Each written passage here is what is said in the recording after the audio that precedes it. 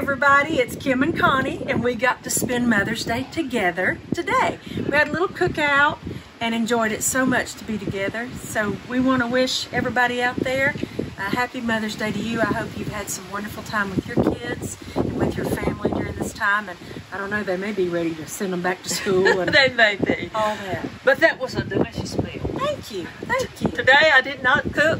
This lady and her husband, they did all this today, and it's, it's wonderful. But happy Mother's Day. Be blessed. Amen.